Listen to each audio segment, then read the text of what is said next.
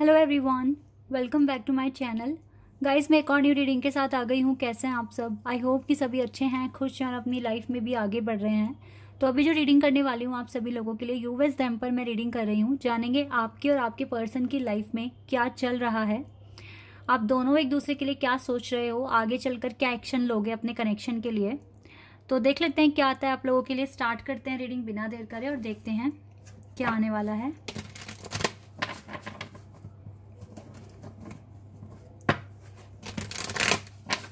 General reading है guys तो हो सकता है सभी के साथ रेजोनेट हो सकता है ना हो so please keep an open mind reading timeless है तो जब भी आप यहाँ तक पहुँचे आप देख सकते हैं।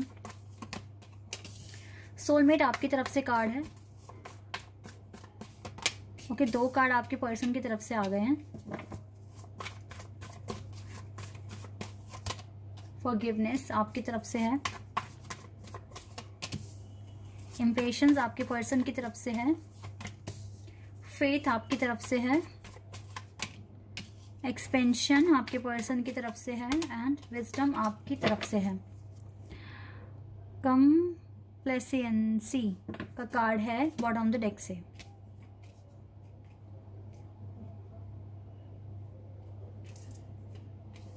आई होप कि सारे कार्ड्स आपको दिख रहे हैं।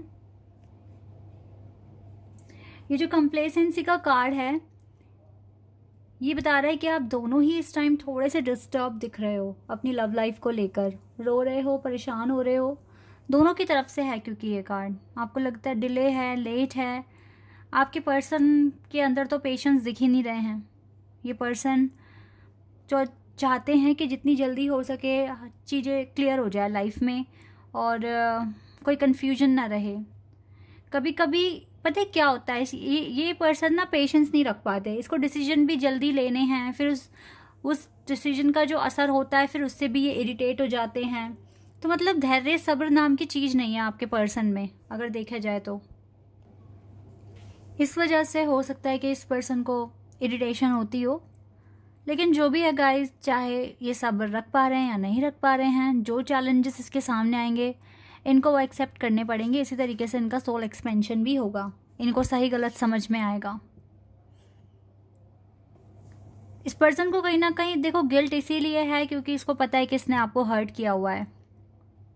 हो सकता है आपके पर्सन की लाइफ में कुछ नया शुरू हुआ है, कुछ नई जॉब मिली है, या फिर कुछ नया इसने स्टार्ट किया है, लेकिन फिर भी गिल्ट है इस पर्सन को, क्योंकि अपने सोलमेट को हर्ट कर रहे हैं दैट इज़ वाई और आपकी तरफ़ से गाइज़ आपको देखो इस पर्स, आपको तो क्लियर पता है कि आपका सोल कनेक्शन है आपके पर्सन के साथ और आपको फेथ है आगे सब कुछ हो अच्छा हो जाएगा। आप अपने लाइफ में विजडम लाने की कोशिश कर रहे हैं, आगे बढ़ने की कोशिश कर रहे हैं।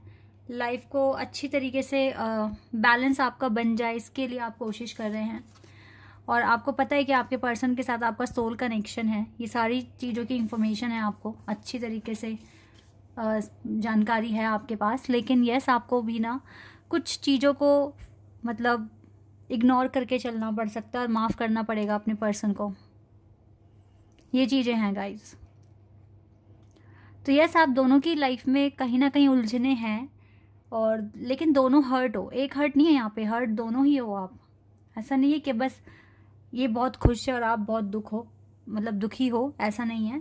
दोनों ही हर्ट हो अभी और कुछ ना कुछ, देखो आपका तो फेथ बढ़ रहा है। आप आप अपनी लाइफ में अच्छा परफॉर्म भी कर रहे हैं, लेकिन आपके पर्सन अच्छा परफॉर्म नहीं कर रहे हैं। तभी तो गिल्ट में, आपकी तरफ़ से गिल्ट का कार्ड नहीं है, बल्कि आपकी तरफ़ से तो कार्ड है कि आप इस पर्सन को माफ़ कर दो।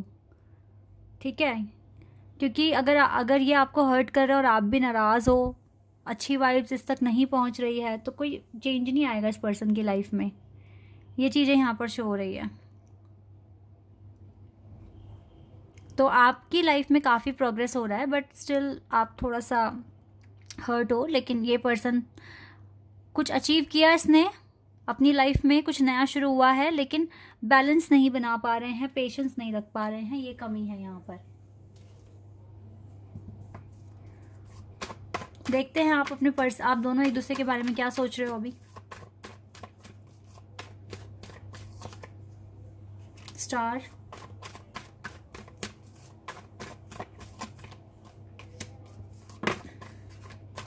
आपके पर्सन कंफ्यूज है, क्योंकि पेशेंस नहीं रख पा रहे ना, इसी वजह से कंफ्यूज है ये पर्सन आपका ना माइंडसेट बहुत क्लियर है गाइस आपके पर्सन का नहीं है. देखो ओवर थिंकिंग की वजह से कनेक्शन भी इसने रेस्ट पर छोड़ दिया सरेंडर कर दिया. लेकिन आपको पता है कि आपकी शादी होगी इस पर्सन से. आपको फीलिंग्स आती हैं.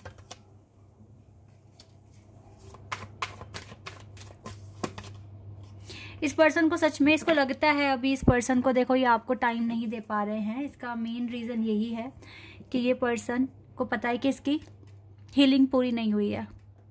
कुछ एडिक्शंस हैं, कुछ ऐसी चीज़ें हैं जो हील करना है अभी।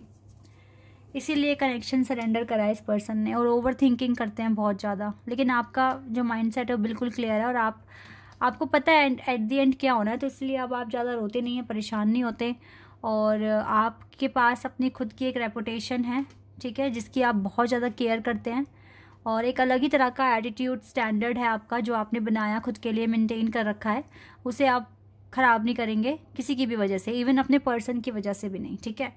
तो आपके सपने भी पूरे हो रहे हैं और इस कनेक्शन पर भी आपका फेथ पूरा पूरा है कि हर चीज़ ठीक हो जाएगी। आप फर्स्ट्रेट नहीं होते इरिटेट भी नहीं होते उस कनेक्शन की वजह से, लेकिन हाँ नो कॉन्टेक्ट सिचुएशन है यहाँ पर। ओके तो यहाँ से भी देख लेते हैं।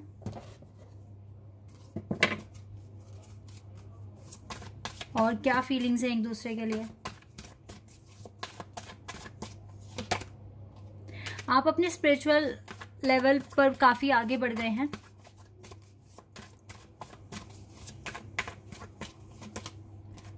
और देखो, आपके पर्सन आपको यूनिक भी समझते हैं। आप जैसा कोई है भी नहीं।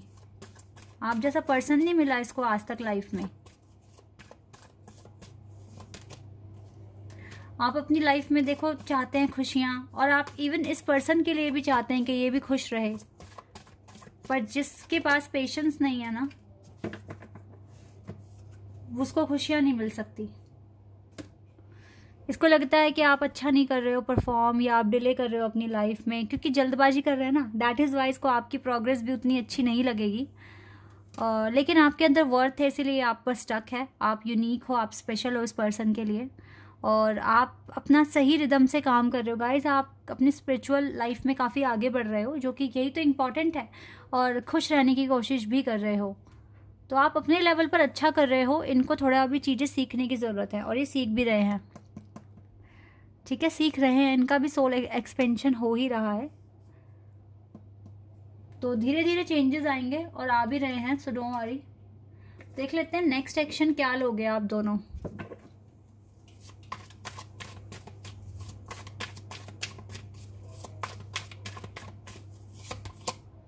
आप और ज़्यादा डिवाइन के क्लोज जाने की कोशिश करोगे, और ज़्यादा आगे बढ़ने की कोशिश करोगे अपनी लाइफ में. और काफ़ी इंट्यूट आपका जो इंट्यूशन पावर है वो भी काफ़ी बढ़ रहा है. आपकी पर्सन खुद को कुछ टाइम के लिए सिंगल ही रखने वाले हैं। किसी से बात नहीं करेंगे ये। देखो, आप इतने ज़्यादा इंट्यूटिव होते हुए दिख रहे हो मुझे कि आप आराम से अपने पर्सन की ना फीलिंग्स पता कर सकते हो, वो क्या सोच रहे हैं आपके बारे में।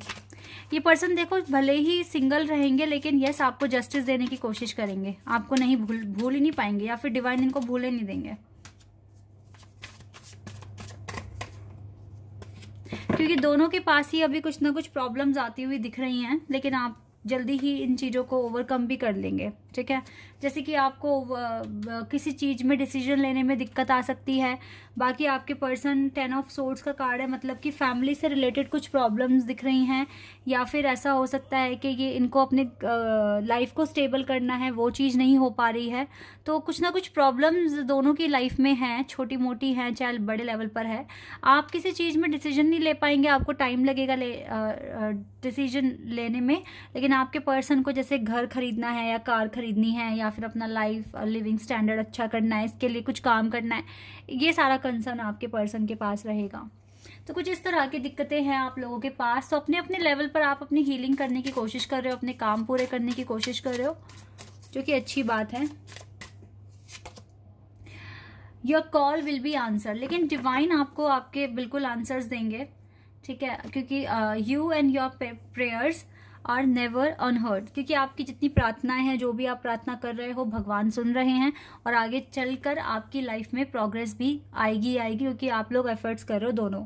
बस आपके पर्सन को थोड़ा पेशेंस पे काम करना पड़ेगा। बाकी गाइज़ मुझे आपकी साइड से ज़्यादा प्रॉब्लम दिख नहीं रही है। आप बहुत अच्छा कर रहे हो अच्छा परफॉर्म कर रहे हो अपनी लाइफ में। और ऐसे ही करते रहे तो जल्दी आप दोनों यूनियन के पास भी पहुँच जाएँगे। ठीक है?